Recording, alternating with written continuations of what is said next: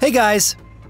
So, several countries have unique military technologies, and one of the most astounding is Israel's Iron Dome. This complex system defends the airspace and can handle the most dangerous threats. So, the Iron Dome is an anti missile defense system that has shown an unprecedented level of efficiency.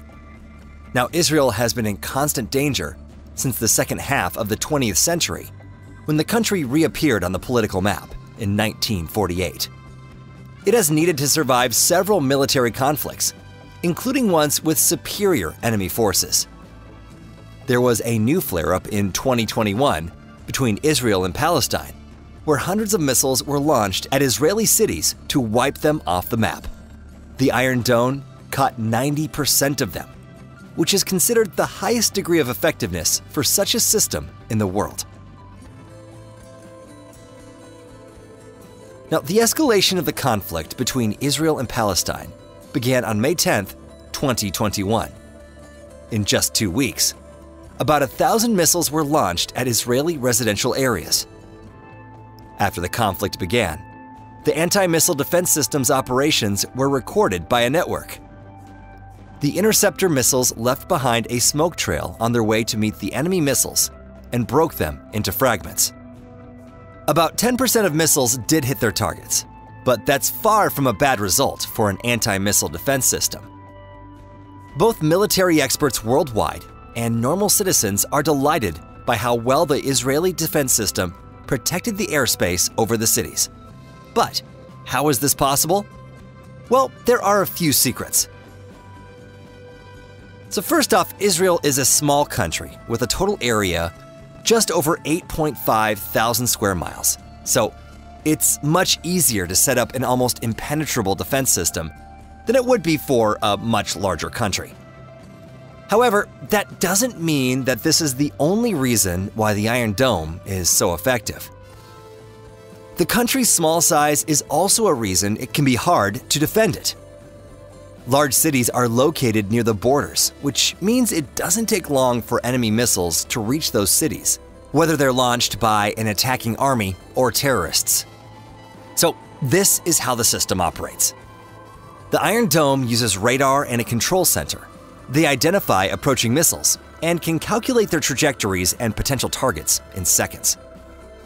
The dome's reaction time plays a key role since enemy missiles could reach their target in just 15 seconds.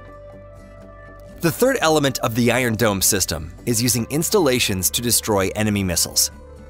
Now, there are enough sites that launch interceptor missiles to create an almost impenetrable shield over the country. We know the sites are grouped in blocks. One block has three launch sites, and each one can launch up to 20 interceptors. One site can intercept missiles at ranges varying from 2.5 to 43.5 miles. Now, using this information, analysts confirm that Israel only needs 13 batteries to defend itself. Current information indicates that Israel has 10 operational batteries, with another 5 under construction. And something really incredible is that they don't fall for false positives. Interceptor missiles are launched only when the control center confirms that an enemy missile is heading towards a residence or another important object. Launching false signals over Israel to distract the Iron Dome's firepower for a follow up strike to destroy the defenseless government won't work. The interceptor missiles detonate approximately 33 feet away from their target, so their fragments act like shrapnel and destroy the attacking missiles with high efficiency. The only threat is the fragments of both missiles, but luckily, many Israeli homes have bomb shelters designed in a way for their residents to have additional protection during an enemy attack.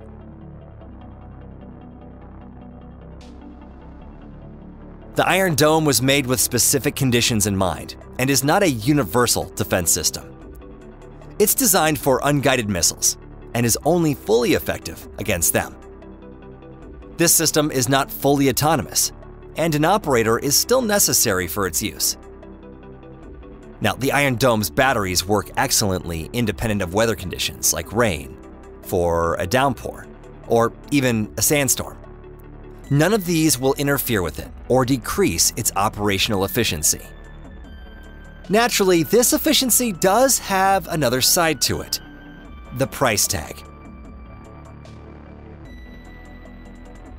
The cost of using the anti missile system is many times more expensive than the cost of one unguided enemy missile. Exact numbers for the price of the Iron Dome are classified, so any information that's leaked to the public is contradictory. Several sources name the cost for one launch at about $50,000. Others say about 100,000. The cost of one unguided missile that is delivered through contraband to Gaza, which is where most of the missiles come from, is much cheaper.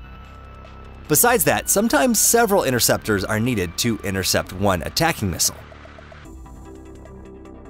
But Israel doesn't complain about the cost of protecting its citizens and country.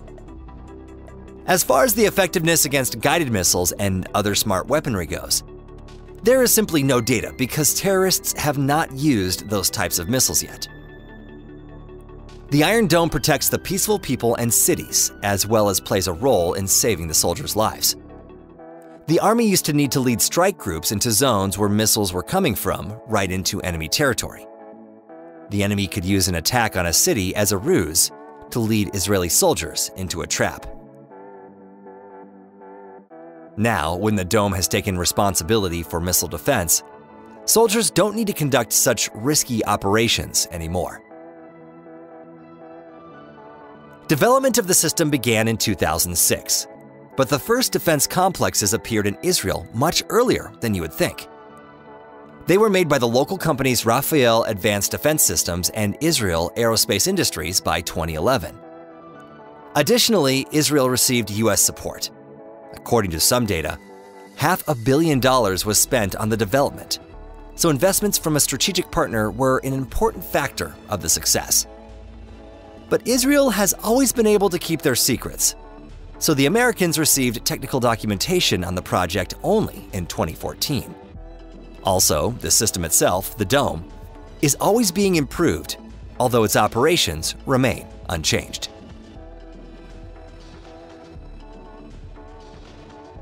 creating the system was a very relevant mission. According to the Israeli army, in 2014, just after three years of operation, the Iron Dome had already intercepted and destroyed 1,200 missiles. The interceptor missiles are also having their sensors being modernized to make their cost lower to just a few thousand dollars. The radars and other elements of the dome are also being improved. This let the complex, in just 10 years of operation by January 2021, destroy from 2,400 to 2,500 enemy missiles, saving untold numbers of lives. Of course, this system has its critics. The most prominent is that the Army is too reliant on the Iron Dome, which makes the other air defense systems not receive the appropriate amount of attention. Nevertheless, the US has already purchased two Israeli batteries. Now, if the government is investing tons of funding into its defense industry and is buying anti missile defense, then you definitely won't doubt its effectiveness. So, what do you think about the Iron Dome? Be sure to let me know in the comments. And don't forget to like and subscribe, and we'll see you next time.